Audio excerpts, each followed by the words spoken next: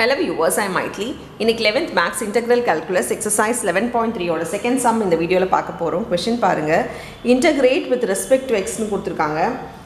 Four cos five minus two x plus nine e power three x minus six plus twenty four by six minus four எக்ஸ்னு கொடுத்துருக்காங்க.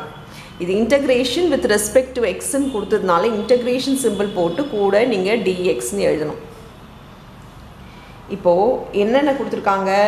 Cos தனியாக இருக்குது இ e power இருக்குது ஒரு algebraic form இருக்குது மூணுமே addition சப்ராக்ஷனில் இருக்கும் போது நம்மளுக்கு அடிஷன் சப்ராக்ஷனில் இருந்தால் இன்டகிரேஷனை தனித்தனியாக இதை மூணுத்தையும் பிரிச்சுக்க முடியும். ஸோ நான் இன்டகிரேஷன் சிம்பிள் போடுறேன். இதுக்கு தனியாக எழுதிக்க போகிறேன் இதுக்கு தனியாக எழுதிக்க போகிறேன் இதுக்கு தனியாக எழுதிக்க போகிறேன் இது ஃபோருன்றது கோஎஃபிஷியன்ட் அதை நம்ம வெளியே எழுதிக்கலாம். ஏன்னா ஃபோருக்கெலாம் இன்டகிரேஷன் கிடையாது. இப்போது காஸ் ஆங்கிள் இருந்தெல்லாம் வேல்யூ பிரிக்க முடியாததுனால ஆங்கிள் மொத்தமாக தான் எழுதணும். கூட டிஎக்ஸ் எழுதிக்கோங்க. ப்ளஸ் அதே மாதிரி இன்டகிரேஷனுக்கு நைன் வந்து இன்டகிரேஷன் கிடையாது. மின்டூவில் இருக்கிறது. அதை எடுத்துக்கோங்க. த்ரீ எக்ஸ் மைனஸ் சிக்ஸ் எழுதிக்கோங்க. ப்ளஸ் இந்த டுவெண்ட்டி ஃபோர் கூட நம்ம வெளியே எழுதிக்கலாம். இது வந்து நம்ம காமனாக எடுத்து கூட கேன்சல் பண்ணலாம். இல்லைனாலும் பிரச்சனை இல்லை. கடைசியாக எப்படி இருந்தாலும் கேன்சல் ஆக போகுது. அதனால் பயப்பட வேணாம். இதில் வந்து நம்ம டூ காமனாக எடுத்து இது கேன்சல் பண்ணலாமான்னா தாராளமாக பண்ணலாம்.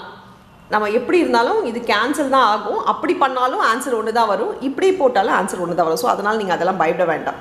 இப்போ மூணு விஷயம் இருக்குது ஸோ மூணு விஷயத்துக்கும் நம்ம முதல்ல இன்டகிரேஷனோட ஜென்ரல் ஃபார்முலா எப்படி இருக்கும் அப்படின்றத பார்த்துடலாம். அப்போ உங்களுக்கு சம் போடும் போது ஈஸியாகிடும் இப்போ காஸ் இருக்குன்னா காஸோட இன்டகிரேஷன் பார்த்தீங்கன்னா sine x so sine x plus சின்னு வரும். ஸோ காசுக்கு சைன் எக்ஸ் ப்ளஸ் சி அடுத்தது இ பவருக்கு ஸோ இ பவர் எக்ஸோட இன்டகிரேஷன் பார்த்தீங்கன்னா இ பவர் எக்ஸ் தான். இந்த அப்படியே டிஃப்ரென்ஷியேஷன் ஞாபகம் வச்சுக்கிட்டாலே இன்டகிரேஷன் போட்டுற முடியும். இப்போ எக்ஸ் பவர் என்னக்கு இன்டகிரேஷன் பார்த்தீங்கன்னா x power n plus one by n plus one இங்கே எக்ஸே இல்லையே எக்ஸ் பவரே இல்லையே பையில் தானே இருக்குன்னா நீங்கள் இதை மேலே எடுத்துகிட்டு போய் கூட பண்ணலாம். இல்லை என் ப்ளஸ் ஒன்னு இருக்கும். ஆனால் இங்கே வெறும் எக்ஸ் மட்டும் இருக்குது பவரில் எதுவுமே இல்லைன்னா இதை டேரெக்டாக எந்த ஃபார்முலாவில் எடுத்துகிட்டு போயிடலாம்னா ஒன் பை எக்ஸோட இன்டகிரேஷன்ற மாதிரி கொண்டு போயிடலாம். ஒன் பை எக்ஸோட இன்டகிரேஷன் பார்த்தீங்கன்னா லாக் எக்ஸ் ப்ளஸ் சி இது பவர் டினாமினேட்டரில் ஓல்ட் பவர் எதுவுமே இல்லைன்னா இது வந்து இந்த ஃபார்மேட்டில் தான் கொண்டு போடணும். இதில் வேண்டாம். ஸோ இது வந்து ஒன் பை எக்ஸ் ஃபார்மேட்டில் இருக்குது அப்படின்னு நினச்சிக்கிட்டு இது லாக் எக்ஸ் ப்ளஸ் சி அப்படி இல்லையே அப்படின்னா லாக் எக்ஸ் இங்கே என்ன வேல்யூ இருக்கோ அதுக்கு பதிலாக லாகில் ஃபுல்லாக இந்த வேல்யூ போட்டுற போகிறோம் சரி இந்த சம் இப்போ பார்க்கலாம்.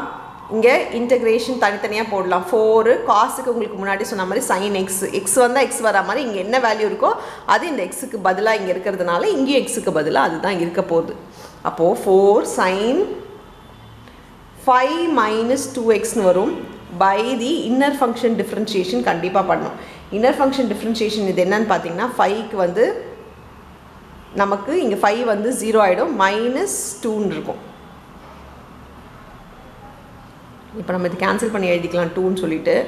நெக்ஸ்ட்டு பாருங்கள் ப்ளஸ் நைன் அப்படியே எழுதிக்கிறேன்.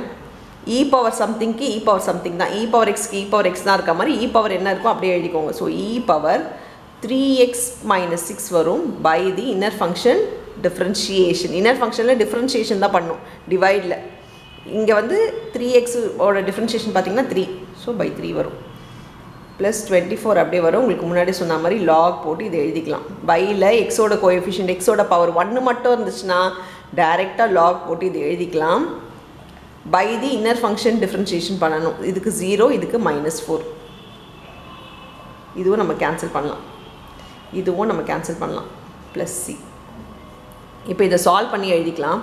இங்கே பார்த்தீங்கன்னா மைனஸ் சைன் கீழே இருக்குது அதை நம்ம மேலே எடுத்துகிட்டு போயிடலாம். ஏன்னா plus into minus minus so minus two sine